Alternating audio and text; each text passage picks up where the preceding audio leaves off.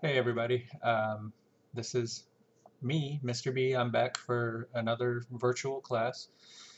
And today we're going to talk about Ernest Hemingway, but uh, before that I do have a couple of announcements to make.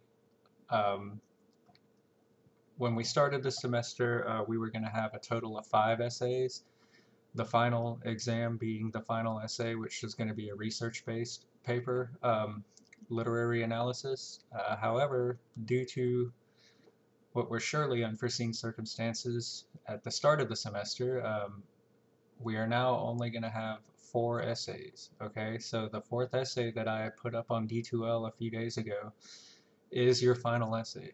Um, I would advise you to get working on it uh, as soon as you can if you want to get drafts to me, I've got some, all the information you need is on D2L. So you need to check D2L for uh, SA4. Um, it is going to be research optional. Again, just it's going to have the same requirements as the first three essays. Uh, I had to make adjustments that I felt were fair. Um, I know people have different situations, different technology availability and access. So if you want to do research for it, you can. If you want to use outside sources, you can, but it's optional. You, you do not have to. Um, so check D2L for the requirements for uh, SA4, which, as I said just a second ago, is going to be the final essay. So you have uh, everything's on D2L. Just just make sure you check there. So now that that's over, um, hope everybody is doing as well as can be, uh, staying safe, you know, with all, all of this. Um, I don't want to talk too much about it because everybody's got their own opinions and today in this video we're going to talk about Ernest Hemingway and my opinions on, on him as a writer. So uh, as per normal I'm going to go ahead and talk about the author himself before we talk about the story, which is Hills Like White Elephants, um, which is a very, very short story. Uh, so, first of all, uh, Ernest Hemingway was born um, July 21st of 1899 in Oak Park, Illinois. Um, he died on July 2nd, 1961, so he was just shy of his 62nd birthday. He uh, took his own life. He died by suicide um, using his quote unquote favorite shotgun. So, kind of a sad ending to a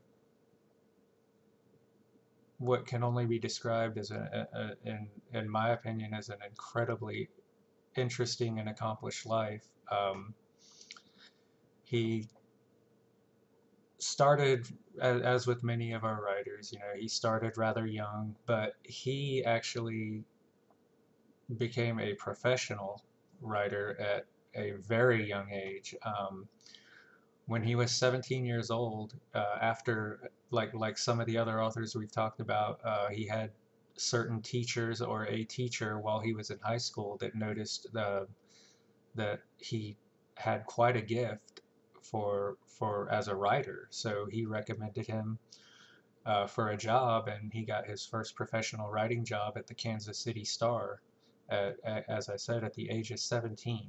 Um, now, some of you are pretty close to that age right now, so uh, you can imagine that that would be a pretty big deal um, for anyone, much less a you know a young 17 year old covering the crime beat for a, a pretty big newspaper for a pretty big city. Um, now, this first job, professional job at the KC Star uh, would be incredibly influential on his life as a writer. Um, one of the editors at the newspaper basically I, I don't want to go so far as to say required, but highly suggested that you, as a as a reporter there, that that you follow their guidelines and they basically said keep it simple, stupid. And if you look at Hemingway's body of work, um, his prose style is comparatively uh, quite simple. And now, when I say simple, I don't mean um, that he's not saying much. I'm saying structurally. You know, he's not using a lot of compound sentences, not a lot of compound complex sentences. He's not going into these crazy prose styles, you know, like stream of consciousness and stuff. He, he his sentences are very straightforward. Um, I personally call it economy of words, you know, whereas one writer, and I'll show you some comparisons in a, in a minute here, but uh, whereas one writer may spend 20 plus words in a single sentence to say something that could arguably be stated just as well, if not better and more clearly, in eight or nine words. And that's kind of the style that Hemingway um, lived by. You know, he uh, I've got a quote here that I'm going to read you, and this is from when he worked at the at the Kansas City Star as a as a very young man. Um, so his quote is this is from uh, some uh, an interview about where somebody was asking uh, you know well where where did your style come from how did you develop this this kind of very straightforward and simple style and his response is quote on the star you were forced to learn to write a simple declarative sentence. This is useful to anyone. Newspaper work will not harm a young writer and could help him if he gets out of it in time. So again, his answer is very straightforward in using simple sentences. Um, now, to show a comparison of what I'm talking about, um, one of his contemporaries, who's actually a, a, personal friend of his, that will go into this background soon, was James Joyce. And James Joyce is, at least in my opinion, uh, the most complex writer as far as just prose style goes uh, that I've ever, uh, I think ever in, in the English language. Um, he's without question the most complex that I've ever read. Um, if you guys doubt me, you know, break out, like I said when we were talking about Faulkner, break out Finnegans Wake or uh, Ulysses. But I'm going to do a direct comparison. Now, when I'm doing these comparisons, you know that just as when you're doing your essays and you pick your quotes and your sources, you're cherry picking. You're, you're picking specific examples that exemplify the point you're trying to make. So I picked a couple, one from Hemingway and one from Joyce, that I think illustrate this uh, this divergence of styles. You know, this this vast difference. So this is the first line that I'm what I'm about to read is the first line from A Portrait of the Artist as a Young Man by James Joyce. Now, it goes, quote, Once upon a time and a very good time, it was there. I got to start over. He, he doesn't use a lot of punctuation, so let me start this over.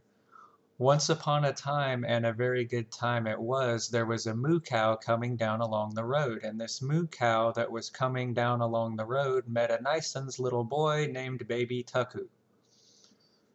And then it's followed by an ellipses, and it goes into a whole lot of other stuff. So that's just the first line from A Portrait of the Artist as a Young Man, which to me is one of uh, Joyce's more straightforward works. Um,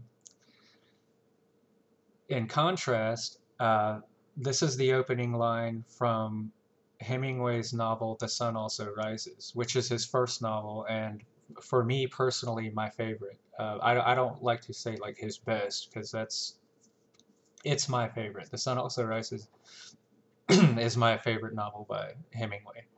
So here's the opening line of this. Robert Cohn was once middleweight boxing champion of Princeton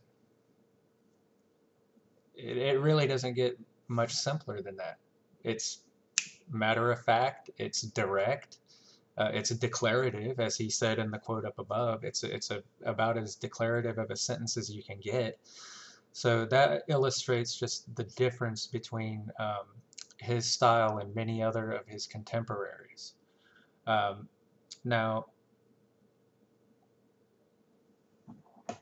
as he was working, uh, while he was working as a reporter, uh, World War One broke out, and the United States, uh, well, a lot of people don't don't realize this, but the United States actually got involved in World War One very late into the war. The war officially started, I believe, in 1914, and the U.S. didn't get officially involved. Uh, where by that I mean a declaration of war uh, until 1917. And uh, Hemingway basically volunteered. He was rejected from, from the army based on uh, his eyesight.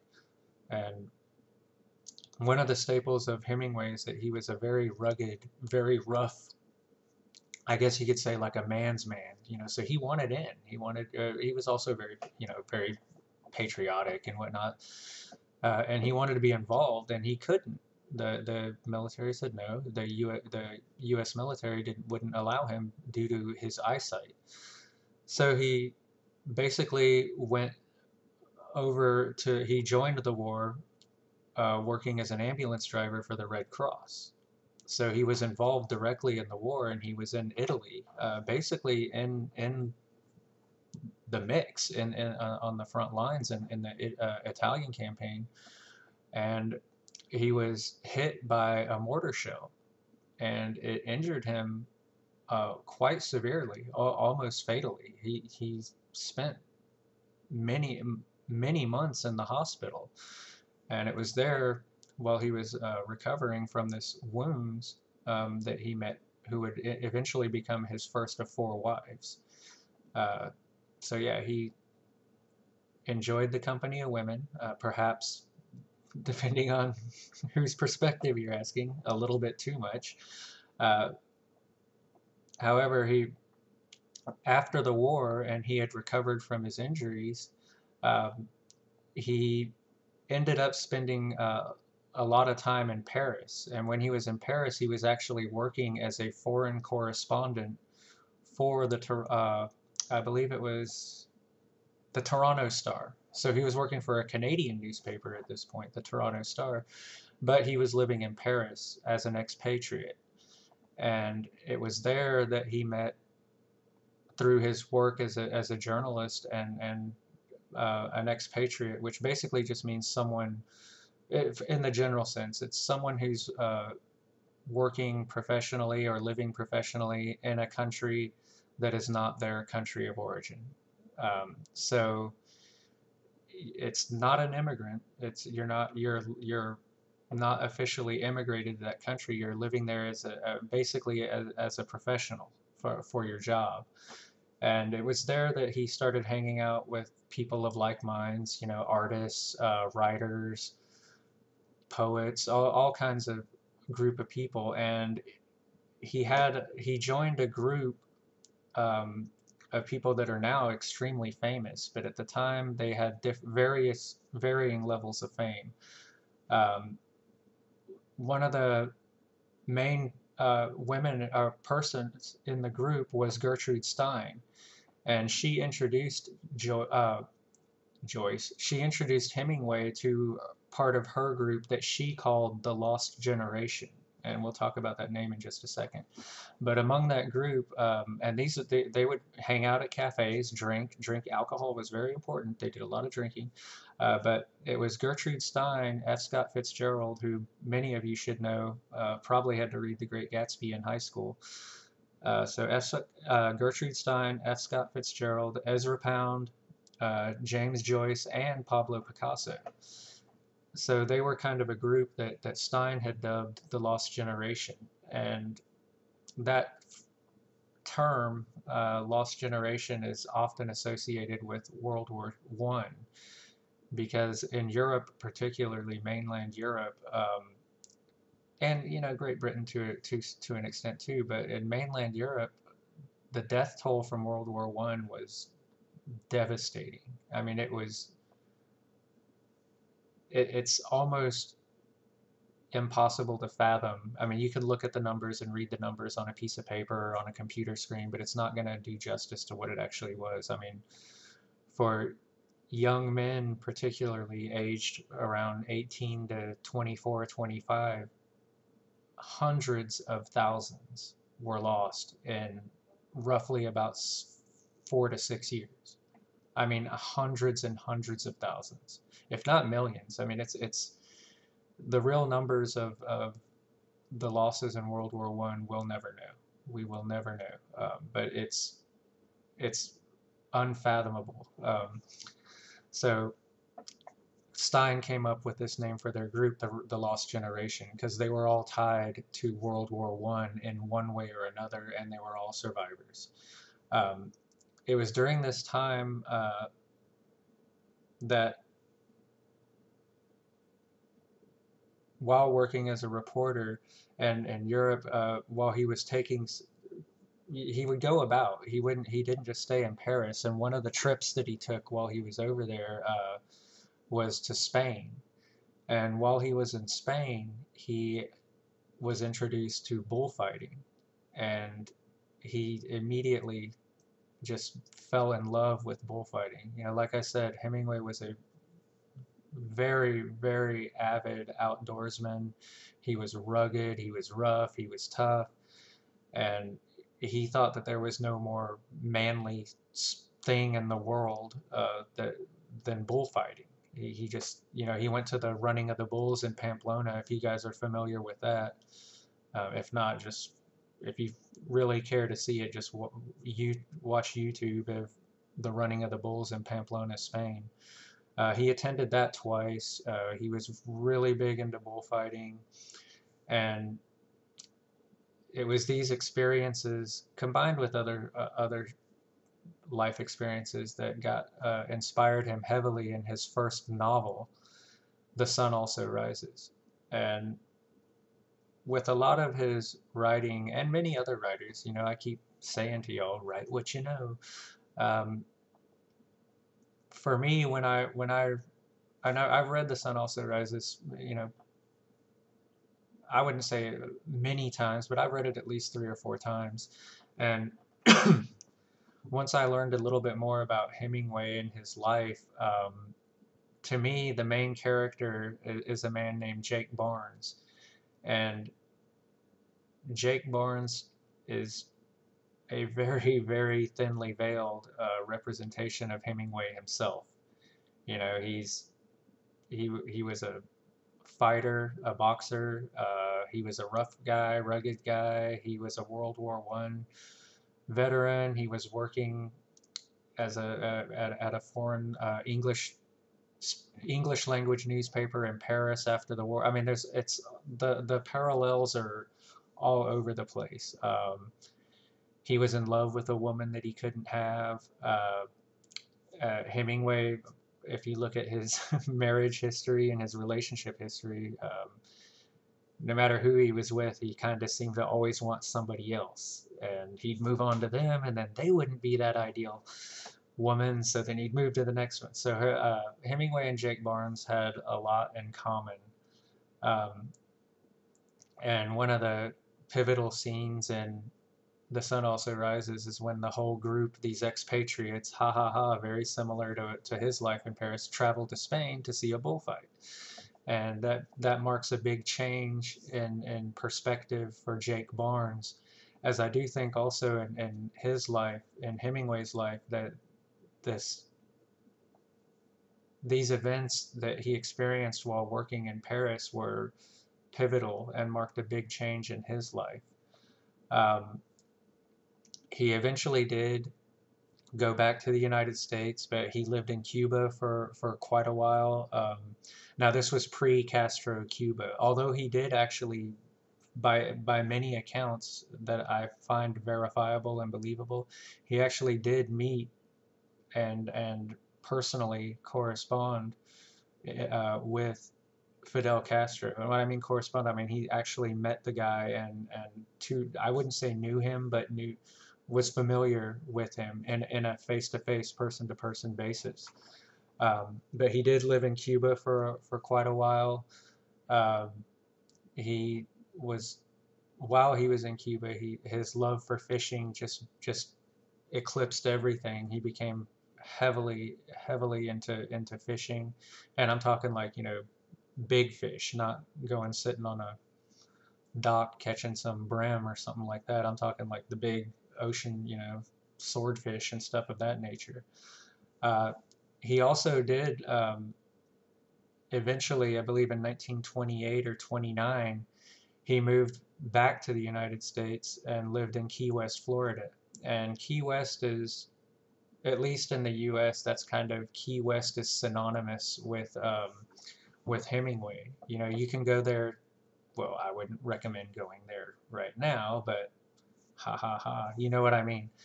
But if you do ever go visit Key West, um, one of the main attractions on on the island is uh, the Hemingway house, and he had a very large house in Key West um, that's renowned for a couple of things. First of all, it's his house, and he did a lot of his writing there. Um, you can actually uh, go to there was a bar that he lived he lived in a little apartment above one of the bars that's still there in Key West and he did a lot of writing there. Um, I'm pretty sure if I remember correctly he did the final draft uh, revisions and all that. Yes real authors do revisions folks. Um, he did the final draft of a farewell to arms in this tiny little apartment and you can actually go visit it and go upstairs from the bar and, and look at the room and whatnot. And you can also visit his house the hemingway house. Uh, it's a major tourist attraction there and as i said it's known for obviously it being the hemingway house but also he had an affinity for polydactyl or six-toed cats. Yeah, I know that sounds weird, but there are six-toed cats. Uh, the the legend is who knows how much of this is true and how much is embellished, but the legend is is that someone I I can't don't I'm not even going to try to guess who, but someone had given him a gift of of a cat that had six toes and he loved the cat and, and if you see this basically this villa that he lived in uh, in Key West, it's at least I, I don't I can't say right like today right now, but I visited it uh, when I was in the Keys about 10 years ago, and I went to the Hemingway house, and these cats with six toes are all over the property. I mean, there's I don't even want to try to guess. I saw at least 20 or 30 of them just running around. They're just they're just within the walls of the of the uh, of the house. Um, so that was kind of one of his strange quirks. Um, now, around this time, while he was in Key West, he, he had become his his reputation as an author had had really been soaring. And sometime during all this going on, uh, he actually got into somewhat of a rivalry. And you, you could, again, this is the stuff of legend amongst literary people, but uh, with William Faulkner. And there's a lot of printed, I guess you could say, hearsay or evidence that the two of them really did not like each other. And as, as you can see from what we read with uh, Faulkner, and with this story, their styles were could not be more different. You know, Hemingway was very simple, very straightforward, whereas Faulkner is more, um, well, verbose, I would say, uh, more more wordy, and they both had different views on each other's styles. Now I'm going to paraphrase a little bit of this, so I'm not giving direct quotes, but you can you can obviously use Google and and get the real quotes, the exact quotes. But basically, Faulkner thought that Hemingway's style was too simple. It, in other words, that it was not. He, he basically was of the belief that Hemingway couldn't really get a lot of deep down stuff through his style of writing because it was too simple. And there's kind of making an equation there. You know, if the writing's simple, then the thoughts behind the writing must be simple. Was was kind of what, what Faulkner was saying to an extent. And there's one quote, um, one interview where he's quoted as saying something to the effect of uh, Hemingway never wrote a sentence that sent someone running to a dictionary. In other words, his words, you know, it's easy to understand, therefore it must not be that complex. Um, I completely, totally disagree with that, and who knows, Faulkner could have been being a little facetious, whereas Hemingway said almost the opposite of Faulkner. You know, he's like, say, his thoughts were basically that Faulkner used a lot of fancy prose, a lot of, you know, the stream of consciousness, a lot of weird diction, weird structure, um, to hide the fact that he wasn't really saying a lot. So, you know, like a, what we would say now is basically like a word salad or something like that. So he was using all these big words and this weird punctuation, this or lack thereof, and this crazy style but if you really look below the surface, there's not much there. And Hemingway used what, what I call the iceberg metaphor. And Hemingway basically said, you know, his writing was like an iceberg. What you see on the surface is only a tiny fraction of what lies below it. The majority of it is underneath the surface. He was using this metaphor to describe his writing, his style, saying basically, you really have to look below and between the lines to see what's really going on here. And I do agree with that with his writing. You know, I say uh, because his structure and style is simple, that does not by any stretch mean that what he's saying is simple. But at the same time, I do feel that Faulkner, through his style, was his writing is incredibly deep. You know, I don't, I don't now, who knows how much of that was just them having a rivalry? Uh, be, and there is evidence to show that they did have a, a, high amount of respect for each other, even though this public, um, kind of public feud, oh, which was also um, kind of highlighted by the fact that uh, when the film version of To Have and Have Not, which is one of Hemingway's novels, was made, um, who I can't remember who the producer was, but anyway, they hired William Faulkner to write the screenplay for To Have and Have Not, um, which did not sit well at all with uh, with Hemingway. You know, this guy he's got this intense rivalry with. He doesn't like his style. He's openly said that he's just he's using all this big fancy stuff to hide the lack of depth well, he wrote the screenplay for To Have and Have Not. Um, so that that kind of stung. However, later in later years, when uh, Hemingway published The Old Man and the Sea, which for which he won the Nobel Prize in Literature.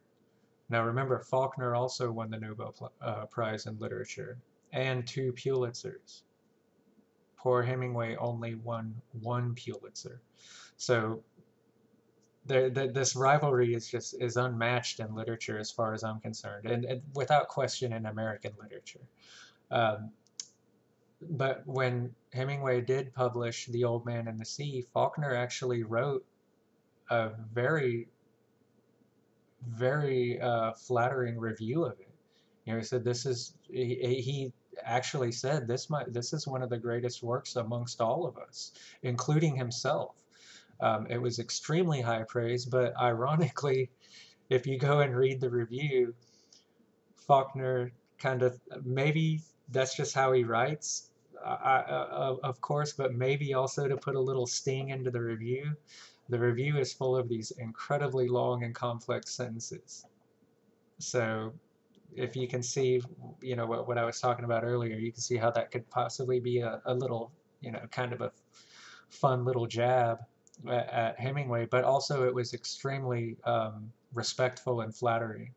Um, it was almost, it's almost like an admiration Uh, so yes, they did have this intense rivalry, but I don't, me personally, I don't think they had anything uh, approaching ill will or hatred for each other, which some some people portray it as that. You know, if you read some books about the rivalry or some stories uh, about the rivalry, like oh they hated each other, but I don't I don't think it was that far. I think they just had different opinions on what what real writing should and should not be, and you know that goes with anything. I mean, think about in sports. You know, think about some of the the greatest rivalries in sports. The a lot of these people, while they go at each other's you know throats on the on the court or whatever off the court they usually had pretty high praise for each other um, so well i guess i'm going way old school but i would say like one of the big rivalries i remember from when i was a little kid growing up was magic johnson and larry bird.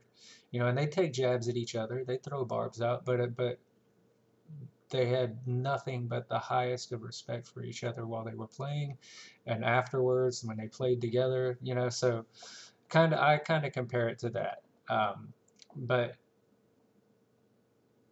that's basically uh, when Heming when Hemingway was at his peak however things started to go downhill rather rather quickly. And there's lots of theories, you know. Um, one of them was definitely alcohol, just as with Faulkner too. Uh, Hemingway was by every definition, uh, by towards the end, latter years of his life, was was without question an alcoholic. And he became increasingly paranoid. Now, the reasons behind that are widely speculated, but he had his life of adventure and and you know with the uh, the wars. Oh, i I forgot to mention this. Uh, not only was he an ambulance driver who was very seriously injured in World War One, he was also a war correspondent in World War Two, and he was actually on one of the boats during the D-Day landing at Normandy. His boat turned around and went back to the ship because he was a reporter, a civilian, and once they got off the main in that landing craft, and they realized, no, this we got to go back, we got to take this guy back. So he literally witnessed the D-Day invasion of Normandy from one of the ships off, right off the shore of, of Normandy, Omaha, and, and uh, all those beaches. Um, so quite quite an amazing life. Um, However, through his life, uh, he also was in survived two plane crashes. Now we know, just you guys know I'm not a math person, but we know the odds of surviving one plane crash are pretty slim, much less two. And these were not little like little crash. These were plane crashes, y'all, and and smaller aircraft. Um, but he did suffer some some pretty uh, a couple of severe head injuries or head trauma. And some people speculate that he had suffered some some sort of uh, trauma, brain trauma, that was at least partially coupled with the alcohol, were at least partially responsible for his decline. Now he ended up in uh, Ketchum, Ketchum, Idaho, on kind of a compound because his par- he he had become extremely paranoid at this point. Um, he thought that the FBI was following him and monitoring him, um, which may have been true, you know, there, uh, uh, to some extent, and to a, some extent it was true. But I think he kind of had overblown it.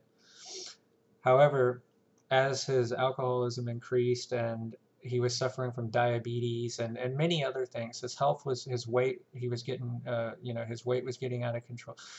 His health was declining, and as his mental faculties started declining, he was losing, quite rapidly, losing his ability to write. Now, he could write physically. I'm talking about the caliber. The quality was, was diminishing.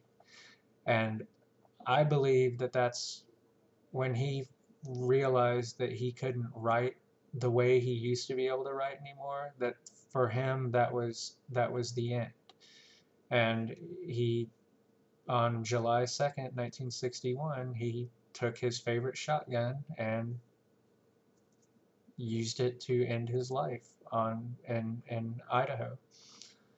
Um, so, a pretty sad ending. Now, on an interesting note, um, suicide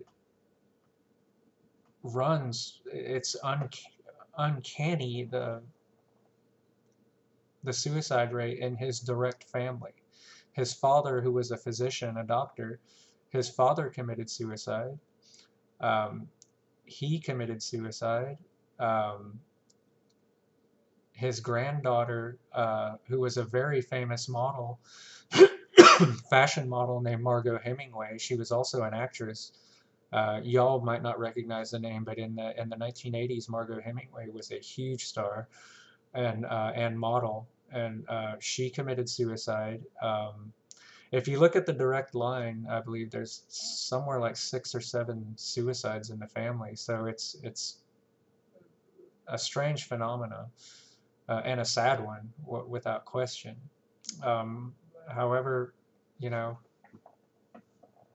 as far as a writing career goes uh, in American literature, I, you know, him he's he's at the top, and don't be fooled by the simplicity of his writing style. There, like, like I totally 100% agree with the iceberg metaphor. There is a whole lot going on beneath the surface. So I'm going to go ahead and stop there for today. And in the next video, I will actually be talking about the story Hills Like White Elephants. Now, y'all really need to read this story. You, it, it is incredibly short and it will take you at the absolute longest 15 20 minutes tops to read so please have it read by next time and I'll be back uh, either tomorrow or the next day to put up another video so until then y'all take care of yourselves stay safe and uh, I will virtually see you soon. Bye